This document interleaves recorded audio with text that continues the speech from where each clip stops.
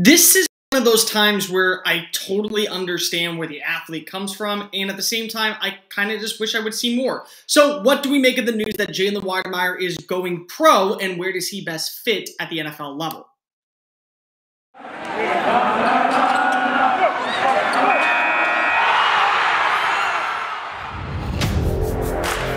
You are Locked On Aggies, your daily podcast on the Texas A&M Aggies part of the Locked On Podcast Network. Your team every day.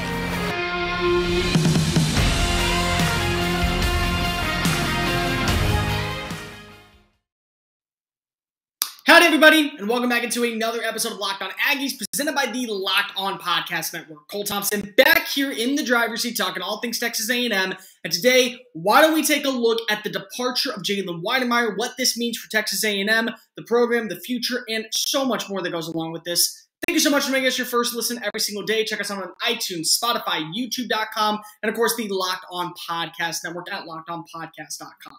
This episode of Locked On Aggies is brought to you by Sonos, the official sponsor of college football. To go find out more about Sonos, visit them at sonos.com slash locked on NCAA.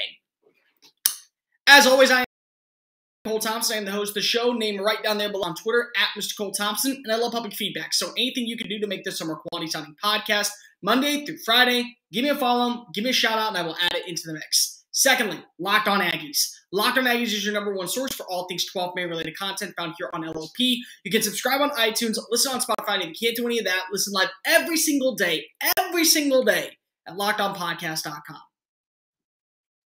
So why don't we go ahead and break down the big time news? Jalen Wydermyer, potentially the number one tight end in the 2022 NFL draft class, is headed to the pros. He made the announcement on Monday afternoon saying that his time in Aggie Land was up, and ever since he arrived in College Station, he had been welcomed in by the community, loved his time here, leaves A&M as a legacy guy that made an immediate impact from Jalen Wydermyer since he arrived at Texas is nothing short of impressive. The way that he was able to improve as an inline blocker, the way that he was able to utilize his speed to his agility, his size, his frame, his footwork, all these little things that definitely are needed at the next level, he possessed during his time at College Station. And slowly but surely, he's emerged as potentially the greatest tight end that Texas has ever seen. I mean, he holds one of the top 10 receiving aspects in general, not just top receiving tight end, just top receiver in general to be ranked in the top 10 in receiving touchdowns with 16 during his three years at Texas A&M. This is a big loss for the Aggies in the long term because if you don't really know what you have outside of Jalen Wydermyer. And that's not an insult. There's a lot of good talent coming in and a lot, a lot of good talent coming in, especially a guy coming out of the same town in Donovan Green.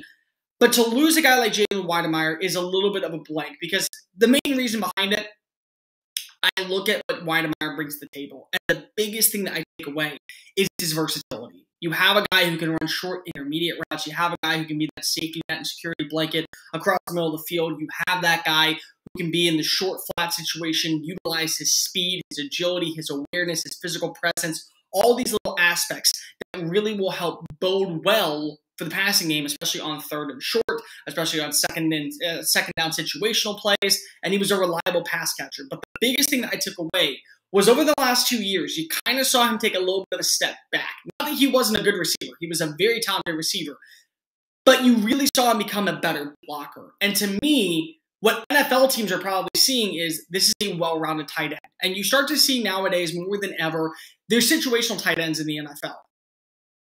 This is the case for any single sport. There's situational across the board. You sometimes will have flex tight ends. Sometimes you will only have blocking tight ends. Sometimes you will have the three down tight end, the guy who can play in the block, can play as a receiving aspect. A lot of teams run, run love to run a lot of 12 man personnel down. So you get to see a little bit more of him being an inline blocker. He's improving in that aspect, but you can also line him up in the flex. There's a couple tight ends that I've talked around the NFL draft circles with. I've reached out to a couple scouts when the news broke yesterday morning or yesterday afternoon that he was going to go pro. And the consensus was he's probably the number two or number three tight end. Nobody is going to deny that Trey McBride Colorado State. And if you watch the film, you got to remember that a lot of times when you're going into NFL draft circles and NFL draft combines, the player with the hot hand usually is the one a little bit more of their name recognized. McBride this past year was arguably the best tight end in college football. He was the John Mackey winner for a good reason. He runner did a fantastic job after the catch. I think he averaged like 14.8 yards per play or something like that. Really nice job out in Fort Collins. I don't know if he will be the best tight end out of this group. I personally love the upside of what I saw from Wydermyer, and I have always loved Charlie Kolar coming out of Iowa State. I think that both of them are probably more of what I'd be looking for, but McBride right now is probably going to get the most reps. And keep in mind that because of, as of today, he has not been invited to the Senior Bowl, Trey McBride is probably the top tight end who's going to get an extra bit of reps in because he's going to be at the Senior Bowl with the likes like Mobile, with several other people, with um, you know, with NFL teams, with all 32 scouts there. That does play a factor. I mean, I go to the Senior Bowl almost every single year that I get the opportunity to, and the biggest thing that I take away is that the talent that's there has an opportunity to boost their stock more than ever. A guy like Jalen Wydermyer has to hope that a good combine, good pro day, good measurables, good interview process kind of gets him up there. But I talked to a couple scouts the consensus is he's about a top 50 player. I, I have not seen many people put him below about 40 big boards. The highest I've seen him be is about 26, 25. A couple of uh, big boards have him right around that top 30 range. But the consensus is he's about a top 50 player. Uh, there's, I would probably put him probably more so in that top 35, top 40 range. Really low end first round pick for teams needing that extra pass catcher. Really good solidified pick at the start round two is where you really find your role players and your playmakers. So this is not an insult to guys who are going to go first round. I know that if he declares Kenyon Green will be a first round target, I know DeMarvin Leal is going to be a top 10 pick. Talked to a lot of scouts about him. They love his upside. They love his potential. They love his ability to be a read and react versatile player, both in the uh, both inside as a three technique, outside as a five technique. You can play him in both a three four and a four three formation. But a guy like Wydermyer may actually be a little bit of a better fit for teams because he does the same thing and has that versatility to where I do think that you will see him be in the running for tight end number one. If not tight end number one, he's absolutely going to be number tight end number two. But the big question is where does he go? What is the best fit for him? We'll talk about that next. But before we do any of that, this episode of Locked on Aggies, well, it's brought to you by NetSuite. If you don't know what NetSuite is, it is the can't miss generational product that you need on your shelves every single day. It is definitely used for your status as working in this industry of trying to build a financial system, building your status up to the highest level of standards and when you look at what they do, over 28,000 businesses already use NetSuite. From the new year, uh, from the new year, NetSuite has a, a new financing program that will help you upgrade your system at netsuite.com/slash locked L O C K E D netsuite.com slash locked for a special one of a kind lifetime financial offer. Number one financial system in growing business. NetSuite is everything you can want and so much more in one place. 93% of surveyed businesses have increased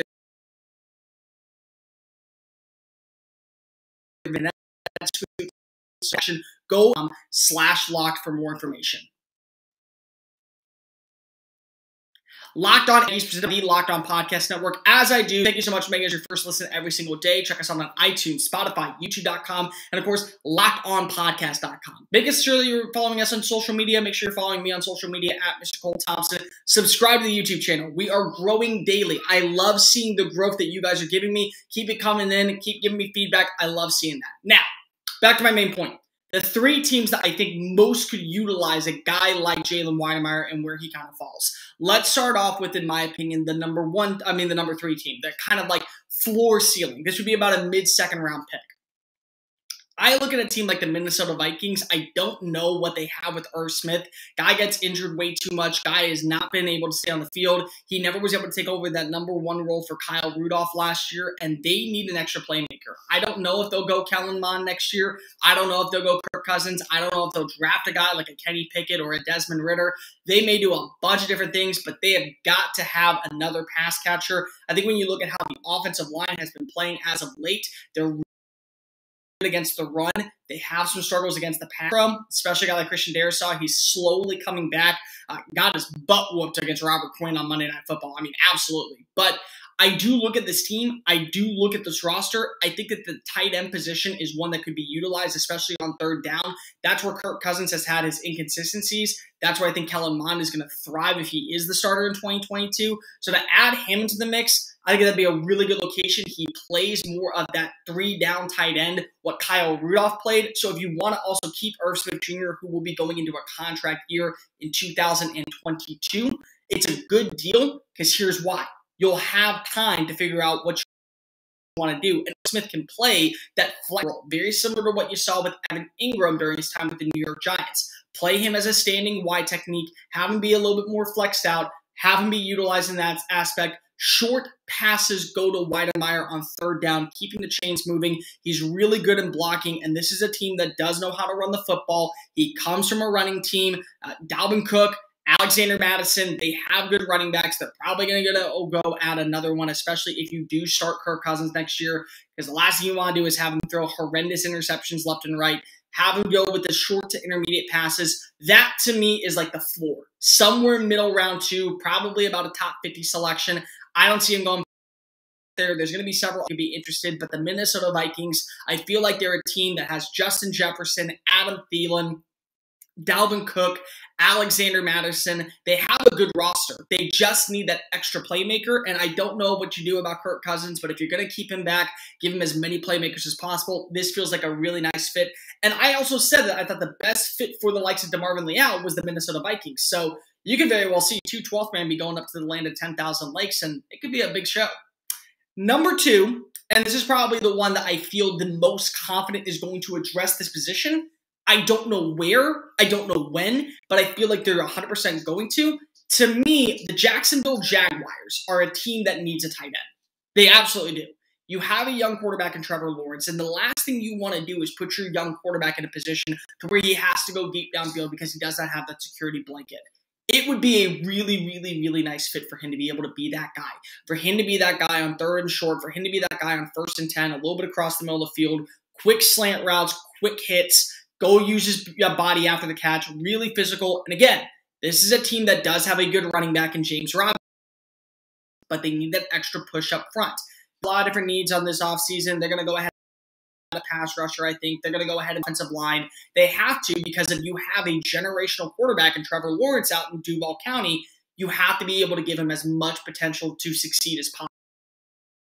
So adding in a tight end, really, really good tight end that can do a little bit of everything. Play run, play the pass, um, be good situation, opening left and right. There's a lot to like about a guy like Jalen Wydermyer in this system. And the biggest thing you got to take away is we don't know who's going to be the offensive coordinator next year. We don't know who's going to be the head coach next year. We don't know what direction this team is going in next year, how close they're going to be to contending. I view this as a luxury pick. They have a few of these in the draft over the next two years. They're probably going to be picking very early on, so they're probably picking somewhere like pick 34, 35, 36. That to me feels like the perfect window Wydermyer.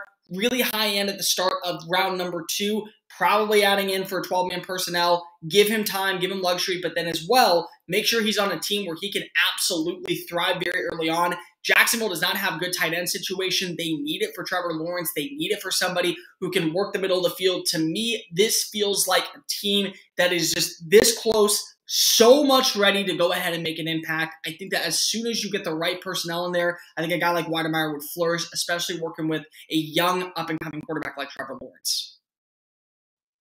But the number one spot, this is the most important one. And it's not because of I think that he's a great fit there. I think that it's a good overall place for him in the long term because you look at what they really need. And to me, it is a tight end. It is receiving help. They're probably going to go ahead and dress it uh, with another wide receiver this offseason. But I really think the New York Jets is the best fit.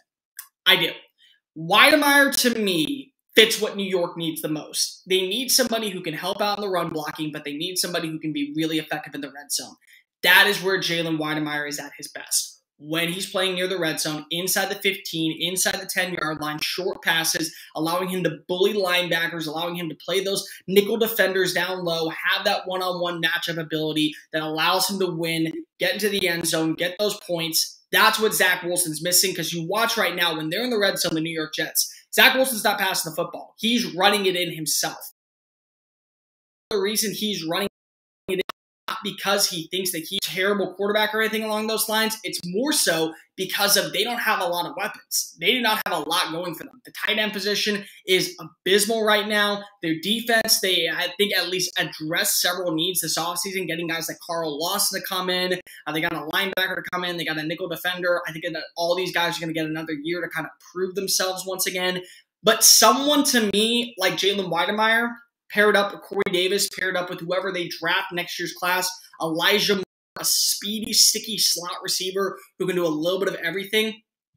That gives you some stability. That gives you some stability at a very big area of need, which is red zone efficiency. This is one of the worst red zone offenses in the NFL right now. They need a big time prime target. This to me is about where I'm hearing his ranges, about 36 39 40 range. The Jets, they're sitting with three wins on the year. Probably the best that they're going to do is somewhere in that, I would say, no more than 40. That to me is about the ceiling, like right around that 35 40 is like that really prime, fresh area for a guy like Jalen Wydermyer to go. That to me feels like the best fit. You get a guy who's going to be a red zone efficient target. You get a guy who's going to make an immediate impact on this roster, and he's going to help out a young quarterback flourish in an area where he has already flourished at the collegiate level. Let's see what he can do with the pros. The New York Jets really do feel like the Bill Wydermyer. And I've talked to a few New York Jets fans out there. They very much would like to see a tight end of his size, of his caliber, be able to come in and make an immediate impact. This episode of Locked On Aggies is brought to you by Prize Picks. All right, listen up, college football fantasy nerds. Have I got a deal for you? Prize Picks is the leader in college football daily sports fantasy. It offers more college football and basketball props than anywhere else in the world, and they offer everything from five star players at the Power 5 level to mid level talent. You can go ahead and bet on anything in basketball assists, rebounds, threes made, uh, penalties made, in football, interceptions thrown, rushing yards. All you got to do is use the promo code LOCKED ON, and you will get up to a 100% welcome bonus bonus with your first deposit. So you bet 20 bucks, you get 20 bucks. You bet 100 bucks, you get 100 bucks. Choose two to five players, take the over under projections, go ahead and use the award winning app above the Apple Store and on Google Play. Entries can be made in 60 seconds or less. It's that easy. Prize Picks is safe and it offers fast withdrawals for you. Don't hesitate. Check out prizepicks.com. Use the promo code locked on and get into the action today. Stop sitting on the sidelines. Go ahead and earn some extra moolah this offseason in fantasy sports made easy with prize picks. Locked on Aggies, presented by the Locked On Podcast Network. Thank you so much for making us your first listen every single day. Now, make sure you tune in this holiday season for the Locked On College Football Preview Show. Expert analysis around the country, uh, experts from across talking all things about the college football playoff, major bowl games, all that and much, much more. We'll be discussing all that. Make sure you tune in starting this upcoming week. All right, so what does Texas A&M do at tight end in the immediate future? Well, the first thing you got to do is see what you got with Baylor Cupp. Baylor Cupp was one of the highest graded tight ends in the history of the sport. I mean, you go look at his numbers on 24 7, you go look at his numbers on SI 99, you go look at his numbers on Rivals. He was one of the highest ranked tight ends you have ever seen play the position. So the first thing you got to do is see what he can do now that he's had two season ending injuries. Can he be that guy, your leader in the locker room? And if that's the case, great. That's going to be your number one over for Jalen Wydermyer in 2022. Now, if he can't do that, see what else you got in the roster. Max Wright, Blake Smith, Eli Stowers has been playing tight end. See what he can be as a vertical option. See if he can be effective on third down. And then after that, then you start looking at your tight ends that you already have in next year. You got three tight ends all of whom were ranked top 10 tight ends on most big boards. Uh, you have the sweetest guy, I'm blanking on his name, Ohrstrom, I know is his last name. Uh, you have Donovan Green, and then, of course, you have Jake Johnson, which was the big surprise of National Signing Day or early signing period, because a lot of people thought that he was going to go to LSU, not just because of who they brought in, but because of his brother, Max Johnson. When Max decommitted and said he would enter the transfer portal, after two years of being the starter for the LSU Tigers, year and a half, year and a half, whatever you want to say. The second that the second that he entered, Jake decommitted. Now he's coming in. Many people across the country that I've spoken to believe he is the top tight end prospect in this class. So if he is one of the best guys and one of the immediate factors, you could see him have that same effect that you saw with Jalen Wydermyer in 2019. Donovan Green, who hails from Dickinson, Another school where you guessed it, Jalen Wydermyer came from, is a really good route runner. He is a very good inline blocker. I feel like his upside is more of a blocker, a really good on red zone. And A&M a lot of 12-man personnel. The one thing that Jimbo Fisher has talked about a lot is running a 12-man personnel, but you have to have the right personnel to run it. So a guy like Baylor Cupp maybe does not offer a lot in blocking, but maybe a guy like Donovan Green does. Maybe a guy like Jake Johnson does.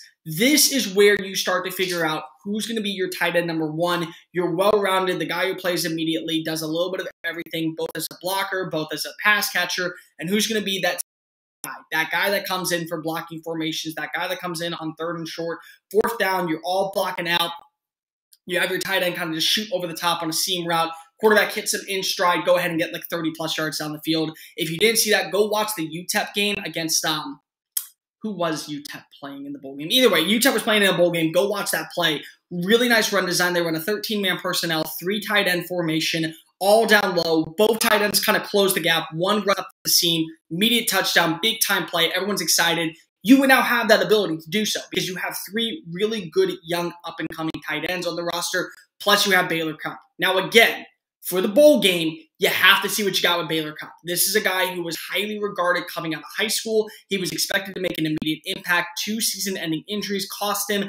I want to see what his upside is, what he brings to my table, what he brings every single snap. And if he can do stuff at the highest level, well, then, in my personal opinion, he's going to be the guy that you got to beat. But afterwards, if he can't do that, you got to hope that these young up and coming freshmen that are coming in, Donovan Green, Holstrom, uh, um, Jake Johnson. You have to hope that these are guys that can be immediate contributors in the passing game because whether it's Max Johnson starting, Haynes King, Conner Weigman, it doesn't really matter. Whoever starts for Texas A&M in 2022, they're going to rely heavily on the tight end. I promise you that. So one of these four names that I just mentioned have got to step up right away and make that immediate impact. That's going to do it for this edition of Locked On Aggies. Make sure you're following us on social media at Mr. Cole Thompson and at Locked On Aggies. On tomorrow's show, we've heard the news. It started coming out what to make of Texas A&M's COVID outbreak. What else is there to know moving forward? What have we heard? We'll talk about that and much, much more. See you then. And remember, give me all.